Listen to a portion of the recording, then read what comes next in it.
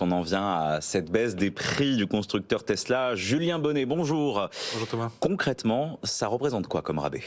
Bah écoutez, c'est assez impressionnant parce que c'est vrai que sur une modèle 3, donc la berline, hein, qui était à 53 500 euros encore hier, elle a perdu 13 000 euros avec un double effet en fait, euh, une baisse de prix d'abord, donc euh, de 8 500 euros le prix catalogue hein, qui passe donc à 40, 44 990 euros et du coup le véhicule devient éligible au fameux bonus écologique hein, qui est plafonné à un prix d'achat de véhicule 47 000 euros. Donc vous pouvez encore déduire 5 000 euros au nouveau prix. Et là, vous arrivez sous les 40 000 euros. Donc c'est un retour en fait à la situation qu'il y avait encore en 2019 avant justement des hausses de prix. Cet argument, par rapport aux concurrents, quel est son impact?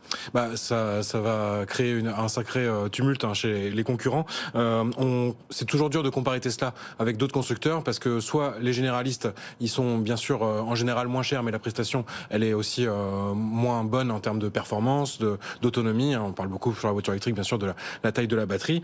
Tesla a aussi ce plus du, du, réseau de recharge, donc ces fameux superchargeurs qui sécurisent beaucoup les, les clients qui passent à l'électrique. Donc euh, c'est sûr que si on compare par exemple à une Mégane E-Tech qui est fabriquée en France, bah, la, la, la, baisse de prix, bah, elle rend finalement la modèle 3 et presque le modèle Y plus intéressant euh, qu'une Mégane E-Tech. Et donc par rapport au constructeur premium, la, la, différence, elle va être encore plus importante. Impressionnant, moins cher qu'une qu'une Mégane. Pourquoi une telle baisse de prix, Julien?